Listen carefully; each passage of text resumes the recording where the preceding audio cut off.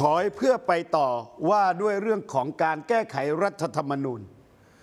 แต่พรบนิรโทษกรรมครับตอนนี้เข้าไปสู่สภารอการพิจารณาไปแล้วนะครับ รัฐบาลแพทองทาน จะเดินหน้าอย่างไร ถือว่าเป็นเรื่องสำคัญของประเทศครับ เดิมนั้นคิดว่าวางไว้วางแผนไว้ว่าพรุ่งนี้จะมีการพิจารณาในสภาผู้แทน แต่อยู่ๆปั๊บมีวิป ฝ่ายรัฐบาล อันนี้น่าสนใจนะครับ วิปฝ่ายรัฐบาลอืมประสานไปที่สสที่สภา ขอเลื่อนออกไปก่อนอ่าอ้างว่ามีกฎหมายอื่นรอพิจารณาอยู่ ถามครับว่าปกติถ้าเป็นกฎหมายที่สำคัญเขาปาดใส่หน้าไหมเขาปาดหน้าไหมเขาแซงเข้าไปแน่นอนครับแซงได้ไหมเพราะเสียงข้างมากพี่วี กฎหมายที่เข้าสู่สภาจะพิจารณากันวันที่ 26 เนี้ยหนึ่งกฎหมายห้ามตีเด็กอ้ามตีเด็ก สองเออ สุราเสรีจุใช่ สามชาติพันธุ์อ่าอะก็สำถ้าถามว่าสำคัญไหมและสี่ก็คือ ผลการศึกษาของการมาธิการว่าด้วยเรื่องของนิรโทษกรรมและร่างกฎหมายที่เสนอโดยเพื่อไทยก้าวอ่าก้าวไกลตอนนี้แปลงเป็นประชาชน ใช่ และฉบับของประชาชนครับ คือต้องบอกว่าตอนนี้เรื่องของการแก้ไขรัฐธรรมนูญเนี่ยอ่า รัฐบาลเนี่ยได้ดึงฟืนออกจากไฟเรียบร้อยแล้วครับนะถอยออกมาแล้ว แต่นี่เราถามโทษว่าสกรรมไอ้เนี่ยยังสมสมๆอยู่นะเออ เพราะยังมีหลายประเด็นที่มีความเห็นแตกต่างกัน ที่สำคัญไม่ใช่แตกต่างเฉพาะในสภานะ แตกต่างข้างนอกด้วยใช่ครับมีเบรกกันเยอะความเห็นของการพิการมีอะไรบ้างพี่โอ การมาธิการได้ทำการศึกษาเรื่องนี้มีในการมาธิการมีทั้งรัฐบาล ทั้งฝ่ายค้าน ทั้งพักร่วมเรียบร้อยทำไว้สามเรื่อง ครับ ความเห็นการมาธิการสามเรื่องหนึ่ง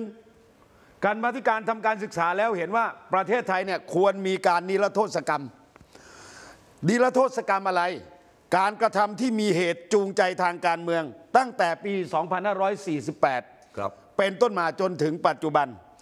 ให้มีคำนิยามความผิดที่ชัดเจน ในภาคผนวกท้ายรายงานการประชุม ด้วยเสียงเป็นเอกฉันท์ครับเออเอกฉันท์นะสองที่ประชุมมีมติว่า ในกรณีความผิดต่อชีวิต ละเมิดสิทธิมนุษยชนอย่างร้ายแรงนั่นน่ะนะฮะตามมาตรา 288 และมาตรา 289 จะไม่เอามารวมในนิรโทษกรรม เพราะมันเป็นเรื่องของความผิดว่าด้วยเรื่องชีวิตของคน เออ ไม่เอานะ แต่เอามาประเด็นที่สามเนี่ยที่มีพูดกันเยอะว่าจะอ่าเอายังไงดีอ่านะครับเพราะ ถ้าไม่มีการคำชี้แจงแล้วคำตัดสินอะไรจะอาจจะเดินหน้าต่อลำบากครับ ความผิดที่เกี่ยวกับประมวลกฎหมายอาญานะมาตรา 110 และมาตรา 112อ่าการมาธิการเห็นว่าเป็นความผิดที่มีความอ่อนไหวทางการเมืองจริงฮะถูกต้องครับใช่จึงมีมติว่าไม่โหวตว่าชนะหรือแพ้จะทำยังไง แต่จะส่งพันธกิจเอ่อไฟเนี้ยให้กับสภาพิจารณานี่ เขาส่งไปให้สภาพิจารณาเลยครับ นิรโทษกรรมอีกชุดหนึ่งคือนิรโทษกรรมเนี่ยในฉบับกฎหมายของประชาชนที่ลงชื่อกัน เสนอโดยทีมของคุณภูนศกเนี่ยนะครับเขาจะนิรโทษกรรมลบล้างคดีความผิดอะไรบ้าง มันมี 6 ประเภทหนึ่งคดีตามประกาศหรือคำสั่งของคอสชครับสองคดีพลเรือนในศาลทหาร สามคดีหมิ่นประมาทพระมหากษัตริย์ อันนี้ฉบับประชาชนนะครับที่ลงชื่อกันสองหมื่นสามหมื่นกว่ารายเนี่ยตามมาตรา 112 คดีพรกฉุกเฉิน คดีพรบประชามติครับ และสุดท้ายเปิดทางไว้ ให้มีกรรมการตัวแทนจากพรรคการเมืองฝ่ายรัฐบาลและฝ่ายค้านรวมถึงผู้ถูกดำเนินคดีเนี่ยนะครับจากทุกสมัยอะมาเสนอร่วมกันได้อีกคดีหนึ่งเออก็ว่าจะ มีคดีอะไรบ้าง คือยังเปิดกว้างเพิ่มขึ้นนะ อ่า แต่ที่น่าสนใจคดีที่ไม่เข้าข่ายเออ คือเข้าข่ายอันนี้คือเข้าข่ายที่เขาจะนินนินนิรโทษกรรมล้างคดี คดีที่ไม่เข้าข่ายนิรโทษกรรมในมุมมองของฉบับประชาชนก็คือกรณีที่เจ้าหน้าที่รัฐเออที่ใช้ความรุนแรงสลายการชุมนุมเกินกว่าเหตุ อ่า ผู้ก่อกบฏทำรัฐประหารนี่นี่นี่นี่อันฉนี้บับสิทธิมนุษยชนและฉบับประชาชนเขากำหนดกรอบไว้เลย ห้ามนิรโทษกรรม ขณะที่กันมาที่การที่ทำการศึกษาพรบนิรโทษกรรมเขามีความเห็นกันสามมุมทำมุมเหมือนกันเหรอสามมุมเออมุมแรกไม่เห็นด้วยกับการนิรโทษกรรมในคดีที่มีความอ่อนไหว หรือมาตรา 112 เนี่ย มีทั้งหมด 14 คน อ่าใช่ มีใครบ้าง ไอบูลย์นิติตะวันอืมนิกรจำนงครับนพดลปัทมะ อาจารย์วุฒิสารตันชัย กลุ่มที่เห็นด้วยแต่กับมีการนิรโทษกรรมในคดีที่มีความอ่อนไหว คือคดีหนึ่งหนึ่งสอง1 1 2นี่แหละแต่มีเงื่อนไขอะอ่าแบบแต่มีเงื่อนไขไว้ คือนิรโทษกรรมได้แต่มีเงื่อนไขไว้ มีโน้ตไว้สองคนอืมหนึ่ง นายหมอเชิดชัยตันติศิรินครับ อันนี้เป็น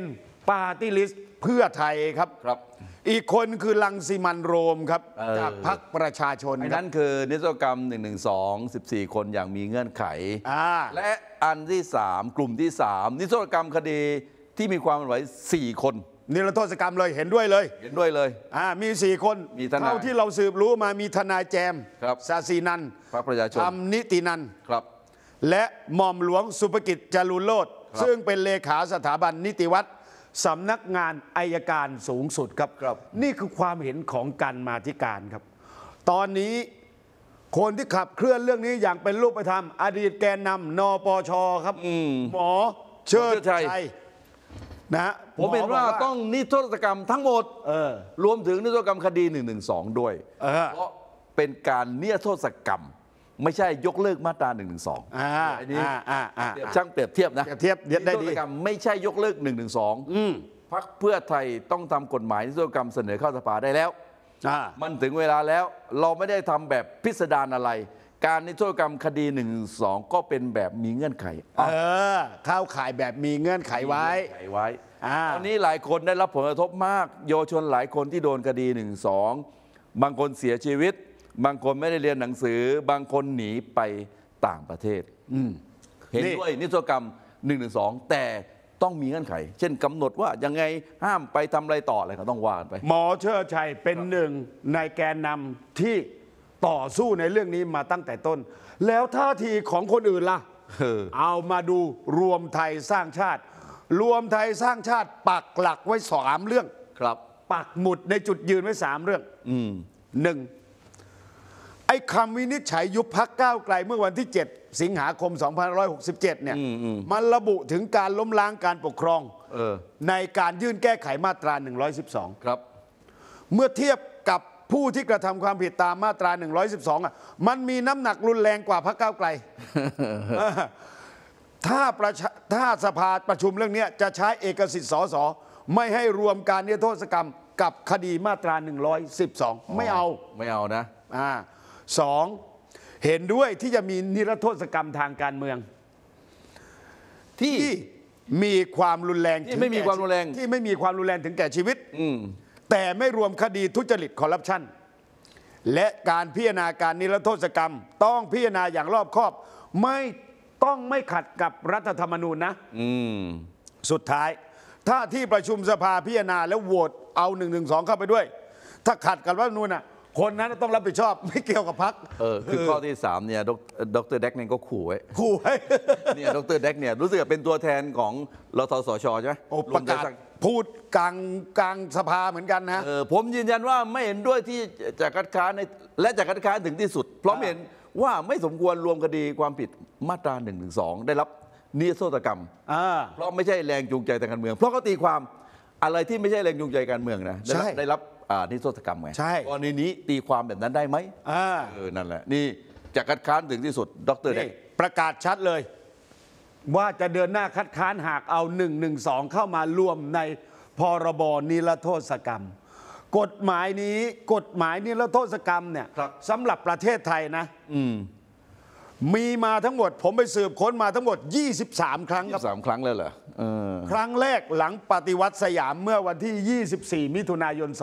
2547นนครับ บางคนเรียกอภิวัตสยาม บางคนอ่าเรียกปฏิวัติสยามนะครับ มีโปรดเกล้าให้ประกาศพระราชกำหนด นิรโทษกรรมในคราวการเปลี่ยนแปลงการปกครอง ลงวันที่ 26 มิถุนายน 2475 ครับ โอ้นี่สองวันลงเลยนะ ใช่ นั่นเลย ในหลวงลงนามเลย ครับ ประกาศเลย ต่อมา มีการออกกฎหมายนิรโทษกรรมแก่บรรดาคณะรัฐประรัฐประหารทั้งหมด 11 ครั้งครับ9ครั้งพี่หวีออกเป็นพรบคุณอยากรู้ไหมว่าปีไหนบ้างเนี่ย2476 2490 2494 2500อ่า2501สมัยสมัย2514สลิดอันสมัย2519 2520 และ 2534 ครับตอนรัฐประหารเอ่อพลเอกชาติชาย อ่านี่ก็คือล้างหมดเลยนะอ่ามีสองครั้งไม่ออกเป็นพรบหรือกฎหมายเลย แต่เขียนไว้ในรัฐธรรมนูญฉบับชั่วคราว คือยุคสมัยพลเอกสนธิบุญยรัตน์กลิน สนธิบุญยกลินคือรัฐประหารรัฐบาลของคุณเอ่อของคุณทักษิณชินวัตรเมื่อปี 19 กันยา 49 นี่คุณจำได้ และอีกยุคหนึ่งคือยุคพลเอกประยุทธ์จันทร์โอชารัฐประหาร เขียนนิรโทษกรรมตัวเองไว้ในรัฐธรรมนูญฉบับชั่วคราวพลเอกประยุทธ์กลุ่มเป็นรัฐบาลหลังจากการรัฐประหารเอ่อนายกยิ่งลักษณ์ชินวัตรเมื่อ 22 พฤษภาคม 2557 นี่คุณจำแม่นเลยนะเนี่ยหลังจากนั้นมีอาการออกกฎหมายนิรโทษกรรมอีกยาวเหยียดในทุกๆเหตุการณ์รวม 11 ครั้งครับโอ้นี่เดี๋ยวนะ นิรโทษกรรมจากการชุมนุมทางการเมืองอะสามครั้ง